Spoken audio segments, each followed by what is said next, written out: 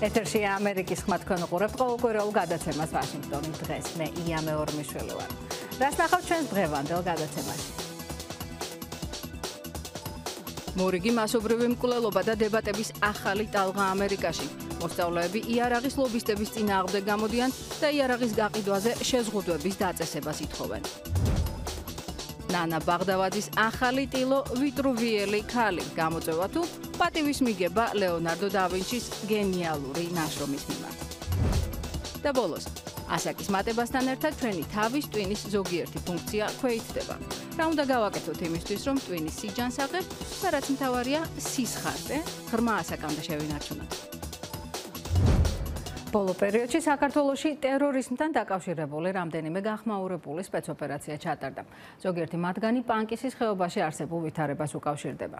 ამერიკის ყოფილი ელჩი საქართველოში, რომელიც თბილისში ედუარდ შევარდნაძის პრეზიდენტობის დროს მსახურობდა, ამბობს, რომ პანკისის პრობლემის გამო 1999 წელს საქართველოს რუსეთის სამხედრო ოპერაციას თავი ბეწუზე დააღწია. კენეტ იალოვიც საქართველოს რუსეთის ურთიერთობებში პანკისის ასპექტზე და ისტორიულ პერსპექტივაზე ვესაუბრე.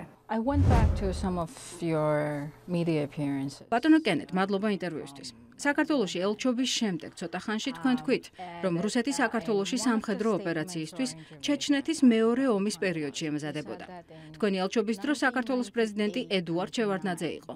როგორ იხსენებთ მაშინდელ მდგომარეობას საქართველოს-რუსეთის ურთიერთობას და რა თქმა უნდა ამერიკის როლს ამ დინამიკაში? To me it was sort of the um the dip ეს ყველაფერი სინამდვილეში 1999 წელს დაიწყო, როცა რუსეთი ჩეჩნეთსა და დაღესტანში მიმდინარე განახლებული ბრძოლებით იყო შეშფოთებული. კრემლში დაწყებული იყო ფიქრი იმაზე, რომ დაღესტნიდან ჩეჩნეთში გადასული მებრძოლების წინააღმდეგ სამხედრო ძალა გამოეყენებინათ. გარდა ამისა, ჩეჩნეთში წინააღმდეგობის მოძრაობას ვერ აცხრობდნენ. მიუხედავად იმისა, რომ ჩეჩნეთის პირველი ომი უკვე ჩავლილი იყო, მოსკოვის საქართველოს უბიძგებდა ჩეჩნეთის ტერიტორიაზე სამხედრო ოპერაცია განეხორციელებინა. მაშინ მახსოვს, ბანკისთან ახლოს ბომბები ბომბებიც კი ჩამოყარეს. ამ დროისთვის უკვე იყო განცხადებები მოსკოვის მხრიდან, რომ ბანკისი ტერორისტების თავშესაფარი ხდებოდა. 1999 წლის ოქტომბერში პრეზიდენტმა შევარდნაძემ შეხვედრაზე დამიბარა. მან მითხრა, რომ კრემლიდან სთხოვეს საქართველოს ტერიტორიაზე არსებული სამხედრო ბაზებიდან რუსეთის ჯარისთვის ჩეჩნეთზე სამხრეთიდან იერიშის მიტანის ნებართვა მიეცა. შევარდნაძე მითხრა, რომ ბევრი ფიქრის შემდეგ ამ ნებართვაზე რუსებისთვის უარის თქმას აპირებდა, რადგან მიაჩნდა, რომ ეს ნაბიჯი საქართველოს ეროვნულ ინტერესებში არ შედიოდა. მახსოვს, მაშინ პრეზიდენტ პრეზიდენტმა შევარდნაძემ მითხრა, რომ ეს გადაწყვეტილება რუსებს არ მოეწონებოდათ და რომ მოსკოვი ამას დიდი ხანი არ დაევიწყებდა. ამ შეხვედრიდან მოკლე ხანში პანკეთში რამდენიმე ბომბი ჩამოვარდა. ხალხი არ დაღუპულა, პირუტყვი დაიხოცა, მაგრამ რუსებმა საქართველოს მესიჯი გაუგზავნეს და თბილისზე დიდი ზეწოლა მოახდინეს. ამერიკამ მაშინ 4 პუნქტიანი პროგრამა დაიწყო. პირველ ეტაპზე საქართველოს მესაზღვრეების ღამის ხედვის ბინოკლები და სამთო აპარატურა გადავეცით, რათა მათ საზღვრის გადაკვეთის შემთხვევები დაეფიქსირებინათ და აღეკვეთათ. რუსები აცხადებდნენ, რომ ჩეჩნები საქართველოს საზღვარს სისტემატურად კვეთდნენ. ამას კი მოგეხსენებათ, წინ უძღოდა ჩეჩნეთის ომის დროს დაახლოებით 5000 ჩეჩნის საქართველოში, პანკისის ხეობაში დასახლება. რუსები დასაბუთების გარეშე აცხადებდნენ, აცხადებდნენ, რომ მათი უმრავლესობა ჩეჩენი მებრძოლები იყვნენ, რომლებიც ჩეჩნეთში საბრძოლველად გადადიოდნენ. In 2004 the Saakashvili government 2004 წელს სააკაშვილის მთავრობამ სცადა პანკისის ასე ვთქვათ გაწმენდა. მოგვიანებით ხეობაში იყო რამდენიმე ბურუსით მოცული სპეციალური ოპერაციაც. სირიაში ომის დაწყების შემდეგ კი ისლამური სახელმწიფოს დროშის ქვეშ დაახლოებით 30-მდე პანკისელია მოკლული. რას უკავშირებთ იმას, რომ პანკისის ხეობაში დღესაც არსებობს საფრთხეები და გრძელდება ადამიანების რადიკალიზაცია? ეს საკითხი დიდი ხანია მაწუხებს. ეს არა მხოლოდ საქართველოსში და უსაფრთხოებას უკავშირდება, არამედ საგარეოსაც. რუსეთს საქართველოსთან პანკისის თემის წამოწევა და ამით ურთიერთობის კიდევ უფრო დაძაბვა ადვილად შეუძლია. შევარნაძის მთავრობას აქტიურად მოუწოდებდით პანკისზე კონტროლი დაემყარებინა. სიტუაციას ამის გარდა სხვა ვერაფერი შეცვლიდა. დღეს ისმის შეშფოთება ტერორიზმთან დაკავშირებით. დღეს საქართველოს მოუწოდებ ფრთხილად დააკვირდეს იმ ადამიანებს, რომლებიც ახლო აღმოსავლეთიდან უკან ბრუნდებიან. ისინი შეიძლება ჩეჩნები და შეიძლება ქართველები იყვნენ. საქართველოს ყველანაირად უნდა სცადოს ამ ადამიანების ქვეყანაში დაბრუნების აღკვეთა. რუსეთს იგივე პრობლემა აქვს ჩრდილოეთ კავკასიასთან დაკავშირებით და ამ სფეროში ვფიქრობ საქართველოს და რუსეთის ინტერესები იკვეთება. არ ვიცი ეს რამდენადაა შესაძლებელი, მაგრამ ეს აზრი გამჩენია. საქართველოს არ უნდა დაუშვას, რომ პანკისის ხეობა ისეთივე უმართავი იყოს, როგორც ეს 20 წლის წინ იყო. ბოლო პერიოდში საქართველოსში რამდენიმე ანტიტერორისტული ოპერაცია ჩატარდა. როგორ აფასებთ მათ ეფექტურობას?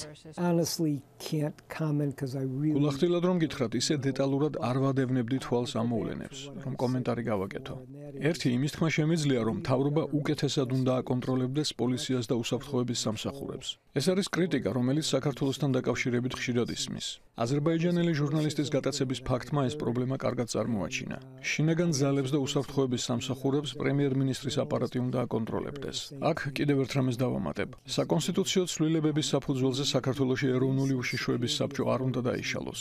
ეროვნული უშიშროების საბჭოს ქონა, სადაც სამთავრობო სააგენტოები ერთად ეკრიბებიან, სადაც პრეზიდენტი და პრემიერ-მინისტრი ერთად ისმენენ ქვეყნის ეროვნული ინტერესების და უსაფრთხოების წინააღმდეგ არსებულ საფრთხეებს და ერთად შეიმუშავებენ ამ გამოწვევის გადასალახგეგმას, ძალიან მნიშვნელოვანია. ფლორიდაში სკოლაზე მომხდარი თავდასხმის შემდეგ ამერიკაში განახლდა დისკუსია იარაღის გაყიდვაზე შეზღუდვების დაწესებასთან დაკავშირებით. დემოკრატები და რესპუბლიკელები ისევ ვერ თანხმდებიან იარაღის თემაზე, რომელიც ტრადიციულად პარტიული დაყოფის ერთ-ერთი მთავარი საკითხია. ნანა საჯაია ამ თემას ადევნებს თვალს. ნანა, რა არის ამჟამად დისკუსიის მთავარი ასპექტები და არის თუ არა კონგრესში საკანონმდებლო ინიციატივები იარაღზე კონტროლის გამკაცრების მიზნით? ია, პირველ რიგში უნდა ითქვას, რომ ამერიკაში იარაღის კონტროლზე მიმდინარე დისკუსია ყოველთვის განიხილება შეერთებული შტატების კონსტიტუციის მეორე შესწორების ჩარჩოებში, რომელიც ამერიკის მოქალაქეებს იარაღის ქონის უფლებას ანიჭებს. შესაბამისად, იარაღის ფლობის მომხრეებს არგუმენტად კონსტიტუცია და მისი მეორე შესწორება მოჰყავთ. ფლორიდაში მომხდარი თავდასხმის შემდეგ რამდენიმე იდეა განიხილება კონგრესში.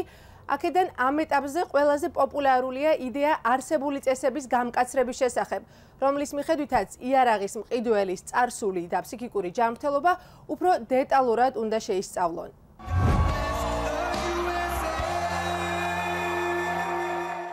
ვაშინგტონში კონსერვატორების ყოველწლიურ შეხვედრაზე პრეზიდენტმა დონალდ ტრამპმა საკუთარი წინააღმდეგობრივი იდეისთვის მხარდაჭერის მოპოვება სცადა. ამ იდეებს შორისაა მასშტაბლებლების შესაძლო შეიარაღება. სურსა შევწყვიტო და ვიცი ამის თქმა წინააღმდეგობრივია, მაგრამ ეს იდეა ორი დღის წინ გაჩნდა და ბევრი ადამიანი, რომელიც მას სრულიად ეწინააღმდეგებოდა, ახლა ეთანხმება. მათ თავისი მოსწავლეები უყვართ და არ უნდათ რომ ისინი დაიღუპონ ან დაშავდნენ. ტრამპი წნეხის ქვეშ არის. ხალხი მისგან მოქმედებას ელის. ის ისეთივე მდგომარეობაშია, როგორშიც მისი წინამორბედები მსგავსი ეროვნული ტრაგედიების დროს იყვნენ. პრეზიდენტმა კლინტონმა ერს მიმართა 1999 წელს კოლორადოს შტატის კოლამბაინის სკოლაში მასობრივი სროლის შემდეგ. 2007 წელს ვირჯინიის ტექნოლოგიურ უნივერსიტეტში მომხდარი მასობრივი მკვლელობის შემდეგ პრეზიდენტმა ჯორჯ ბუშ უმცროსმა ერი გაამხნევა. 2012 წელს კონექტიკუტის შტატის ნიუთაუნში დაწყებითი სკოლის მოსწავლეების მასობრივი მკვლელობის შემდეგ პრეზიდენტმა ბარაკ ობამამ ერთ ემოციური სიტყვით მიმართა.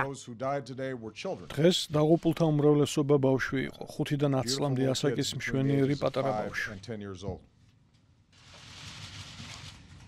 ბოლოდროინდელი გამოკითხვებით საგრძნობლად მოიმატა იარაღის ფლობაზე დამატებითი შეზღუდვის მხარდამჭერების რაოდენობა. თუ ფიქრობთ, რომ ამერიკელები ყურადღებას არ აქცევენ ან არ განიცდიან ამ სროლებს, ცდებით. გასულ ორ წელიწადში იარაღზე უფრო მკაცრი კონტროლის მოწოდებები 20%-ით გაიზარდა. მოსწავლეები ქუჩაში გამოვიდნენ და ფლორიდის ტრაგედიის კვალდაკვალ ისეთ ქმედებას ითხოვდნენ, რომელსაც გრძელვადიანი პოლიტიკური შედეგი ექნება. პრეზიდენტმა ტრამპმა მოსწავლეებთან შეხვედრის შემდეგ თქვა, რომ ის განიხილავს ეგრეთ წოდებული ფარული იარაღის იდეას, ანუ სკოლის მასწავლებლების შეიარაღებას. თუმცა მოგვიანებით მან სოციალურ ქსელ ტვიტერში განმარტა, რომ აქ ყველა მასწავლებლის შეიარაღება არ იგულისხმება და საუბარია მასწავლებლების 20%-ზე, რომლებმაც იციან იარაღის მოხმარება, გავლილი აქვს ტრენინგები ან წარსულში უმსახურიათ სამხედრო სფეროში. შეერთებული შტატების პრეზიდენტი დონალდ ტრამპი ჩრდილოეთ კორეასთან მოლაპარაკებაზე მზადყოფნას გამოხატავს. მისივე სიტყვებით, მხოლოდ შესაბამისი პირობების არსებობის შემთხვევაში. ამასთან პრეზიდენტი იმასაც აცხადებს, რომ თუ ფხენიანი ბირთულ იარაღზე და ბალისტიკური რაკეტების პროგრამაზე უარს არ იტყვის, პოტენციურად უამრავი ადამიანის სიკვდილს გამოიწვევს. პრეზიდენტმა დონალდ ტრამპმა ამერიკის ყოფილი პრეზიდენტები ჩრდილოეთ კორეასთან მიმართებაში ნელი პროგრესის ქონაში დაადანაშაულა და დასძინა, რომ შესაძლოა შეერთებულ შტატებს ფხენიანის რეჟიმთან დალაპარაკების სურვილი ჰქონდეს. მათ მოლაპარაკება სურთ. მოლაპარაკება ჩვენს გსურს. მხოლოდ შესაბამისი პირობების შემთხვევაში. სხვაგვარად ჩვენ მოლაპარაკებაზე არ მოვდივართ. ისინი 25 წელია ლაპარაკობენ. სხვა პრეზიდენტებს ეს ჩემს აქ მოსვლამდე დიდი ხნით ადრე უნდა გადაეჭრათ. ისინი 25 წლის განმავლობაში ლაპარაკობდნენ და იცით რაც მოხდა? არაფერი. ახლა როცა სამხრეთ კორეაში ოლიმპიადა დასრულდა, ყურადღება ყველა მისევ ჩრდილოეთ კორეის ბირთვულ საფრთხეზე გადაიტანა. პარასკევს გამოცხადებული ახალი სანქციების სამიზნე კერძო პირები და კომპანიები გახდნენ. ამ ძალის ხმევას იმისთვის მიმართეს, რომ ჩრდილოეთ კორეის რეჟიმს შორი რადიუსის რაკეტების შემუშავების პროგრამაზე უარი ეთქმევინონ. დაძაბულობამ მკვეთრად გასულ წელს იმატა, როდესაც სექტემბერში გაეროშე სიტყვით გამოსვლისას ტრამპმა ჩრდილოეთ კორეის ლიდერს კაცი რაკეტა უწოდა. ამის საპასუხოდ კიმ ჩენ უნმა ნოემბერში აზიაში პრეზიდენტის მოგზაურობა ომს მოწყურებულის ვიზიტად დაახასიათა. ანალიტიკოსები ამბობენ, რომ უპასუხოდ რჩება კითხვა თუ რამდენად ახლოსაა ფხენიანი ბირთვული თავდასხმის წარმატებით განხორციელების შესაძლებლობასთან. ჩრდილოეთ კორეის მხრიდან გაფრთხილებების მიუხედავად, სამხრეთ კორეას და შეერთებულ შტატებს ამ გაზაფხულზე ერთობლივი სამხედრო წვრთნები აქვთ დაგეგმილი. ვიტრუვიელი ქალი ამერიკელი მხატვრის ნანა ბაღდავაძის ახალი ფერწერული ტილო ლეონარდო დავინჩის ვიტრუვიელი კაცის თანამედროვე ინტერპრეტაცია. ის თითქოს პატივს მიაგებს გენიალურ ფერმწერს, მაგრამ ამავე დროს ერთვარ გამოწვევადად შეიძლება ჩაითვალოს იმ ქალის მხრიდან, რომელსაც სტუდენტობაში კაცივით ხატვისთვის აკებდნენ. ახალ ნამუშევარზე მას მაია კვარცხავა ისაუბრა. თუ ლეონარდო დავინჩისთვის პროპორციის სრულყოფილების და სამყაროს ცენტრის სიმბოლოდ ვიტრუვიელი კაცი მიიჩნევა, ნანა ბაღდავაძემ ვაშინგტონში მცხოვრებმა მხატვარმა სამყაროს მიკროკოსმული მოდელი არა მამაკაცის, არამედ ქალის სხეულში დაინახა. მის ახალ ფერწერულ ტილოს ვიტრუვიელი ქალი ჰქვია. მარგარეტი ძალიან ბერჯერ ყავს დახატული, იმიტომ რომ ძალიან საინტერესო გარეგნობის ქალია და კლასიკური გარეგნობის და რაღაც ერთხელ ჩემთან იყო და ხელები გაშალა. და უცბად და მე ხედვა მქონდა რომ უი როგორ კარგი იქნებოდა რომ მარგარეტი იყოს ვითრუვიელი ქალი და არა კაცი. რატომ არა ქალი? დღეს ხო ქალების დღე არის. თუმცა ქალის ზურგს უკან ნანამ მამაკაცის სხეული მაინც დატოვა. ამბობს, რომ ამით ლეონარდოს მიაგო პატივი. თან ადამიანში ორივე საწყისის ჩვენება სურდა, სრულყოფილების, ჰარმონიის, თანასწორობის გადმოცემაც. ამასთან უნდოდა რომ ვიტრუვიელი ქალი ყოფილიყო თან იდეალური ქალი, მაგრამ თან არა ძალიან ახალგაზრდა. რომ ყოფილიყო რაღაც ორგანული და ბუნებრივი. თანაც რაღაც თავში თავის თავში დაჯერებული. უკვე გამოცდილებით სავსე ძლიერი ქალბატონი. არ არის დარწმუნებული არის თუ არა განსხვავება მხატვარი კაცის და მხატვარი ქალის ხედვას შორის. მე როდესაც მუშაობ, მე ვარ უსქესო. ანუ არც ქალი ვარ, არც კაცი ვარ, სადღაც შუაში ვარ. საერთოდ მე ვთვლი რომ ყველაზე რთული ადგილი არის რომ იყო შუაში. მე მაგალითად მახსოვს რომ ვსწავლობდი თბილისში. ნიკოლაძეში და რაღაც კარგი სტუდენტი ვითვლებოდი და პირველი სტიპენდიატი ვიყავი ელენე ახვლედიანი სტიპენდია რო დაინიშნა და ძალიან ამით ვამაყობ. ხო და მეუბნებოდნენ ო ნანას ჩემი პედაგოგი შენ კაცი ვითხატავ. ეს ითვლებოდა მე ცოტა მართალი გითხრა დაბნეულად აღვიქვამდი ამას. როგორც კომპლიმენტი. ვიცოდი რომ კომპლიმენტი უნდა იყოს. ტვინით ხვდებოდი რომ ეს კომპლიმენტია და ჩემი არსებით რაღაც გაურკვევლობაში ვიყავი რატო კაცივით? იმიტომ რომ მე მე ქალი ვარ და მომწონს რომ ქალი ვარ. ძალიან კომფორტულად ვარ ჩემ განში როგორც ქალი. ვიტრუვიელი ქალიც თითქოს სრულ კომფორტშია საკუთარ თავთან. მის უკან დგარ მამაკაცთან წრესთან ცხოვრებასთან სამყაროსთან ბოლო შტრიხები დატანილია. ტილოზე ნანას ხელწერის დნმ-ის ელემენტები და ქალის ქრომოსომის სიმბოლოებიცაა. და სანამ ვიტრუვიელ ქალს გამოფენაზე პირველი მნახველები შეაფასებენ, ნანა ისევ დნმ-ის ორმაგის სპირალის ხვეულებს მოლეკულების სიცოცხლის კოდების ცეკვა თამაშს უბრუნდება. მაია კვარცხავა, ამერიკის ხმა, ვაშინგტონი. მეცნიერებმა ზუსტად არიციან თუ როდის აღწევს ადამიანის გონება და შესაბამისად თავის ტვინი აზროვნების პიკს. ერთი რამ რაც ცნობილი არის არის ის რომ ინტელექტი და განსაკუთრებით მეხსიერება 70 წლის ასაკის შემდეგ დაქვეითებას იწყებს. ზოგიერთი ადამიანი ღრმა სიბერეშიც ახერხებს გონების ახალგაზრდული სისხარტის შენარჩუნებას. მეცნიერები ცდილობენ ახსნან თუ რა არის ამისი მიზეზი და როგორ შეიძლება ამ პროცესის ხელოვნურად წარმართვა. What do I feel? თავს როგორ გძნობ? ალბათ თუ მეტყოდნენ ასაკი დამესახელებინა ვიტყოდი რომ თავის სადღაც 70 წლის მგონია. თუმცა ბილ გროლნიკი 86 წლისაა და ერთ-ერთი მათგანია, ვისი გონებაც ისევ ისეთი ხარტია, როგორც 50, 60 წლის ადამიანისა. ფსიქოლოგები ამ ადამიანებს სუპერ ასაკოვნებს უწოდებენ. მეცნიერებმა იციან, რომ ჩვენი ტვინის ნაწილები ასაკთან ერთად იკუმშება, თუმცა სუპერასაკოვან ადამიანებში ეს პროცესი უფრო ნელია. ტვინი აქ 4ჯერ, 5ჯერ მეტ სპეციალურ ნეირონებს ინახავს, რომელიც ყურადღების შენარჩუნებას ეხმარება.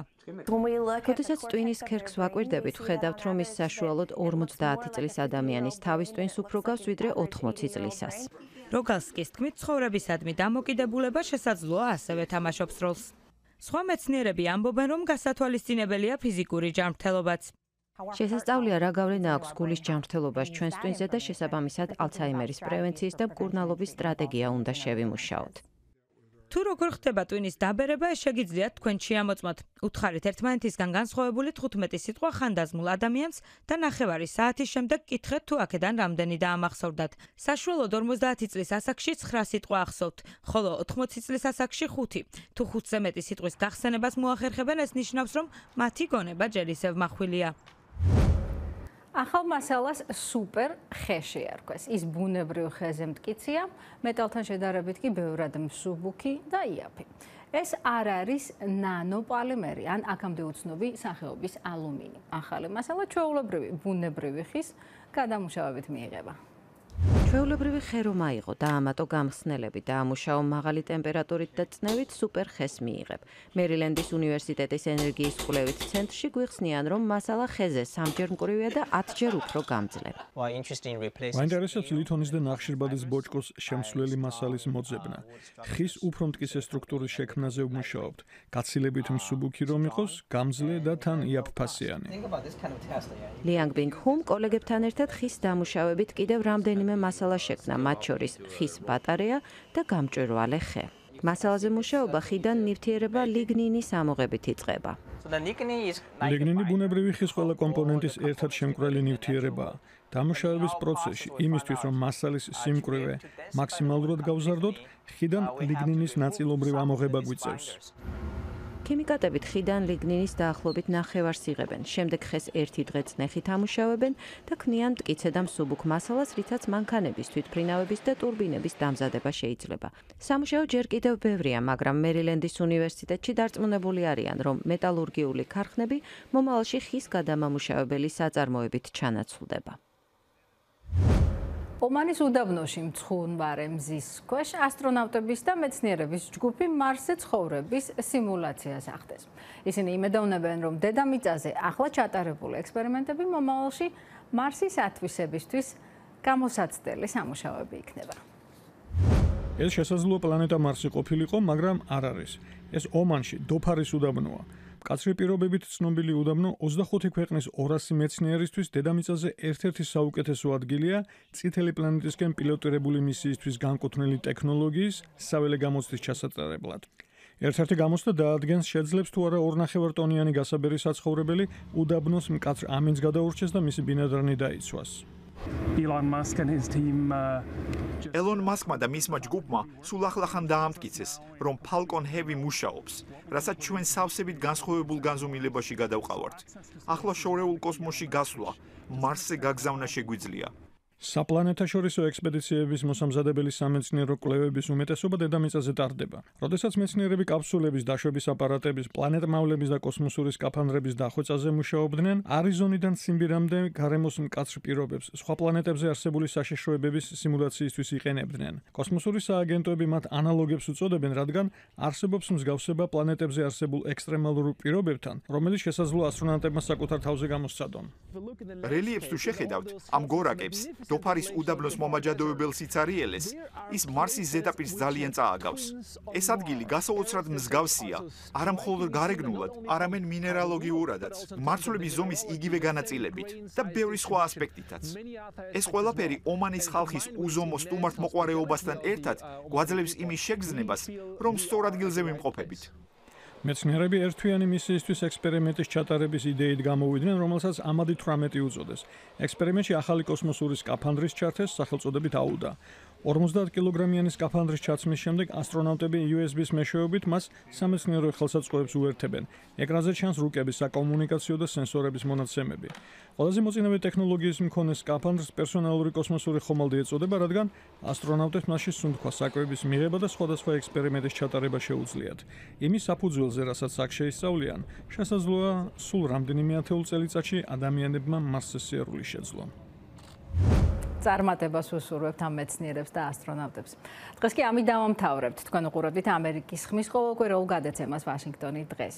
შეგახსენებთ, რომ ჩვენი გადაცემების მოსმენა და ნახვა შეგიძლიათ ჩვენს ვებგვერდზე www.amerikiskhma.com. ასევე შეგიძლიათ შემოგვიერთდეთ Facebook-ში და გაგვიზიაროთ თქვენი აზრი ჩვენს მასალებზე. ჩვენ ერთი კვირით გემშვიდობებით თქვენ კი გახსოვდეთ, რომ ამერიკის ხმა ინფორმაციის სანდო წყაროა.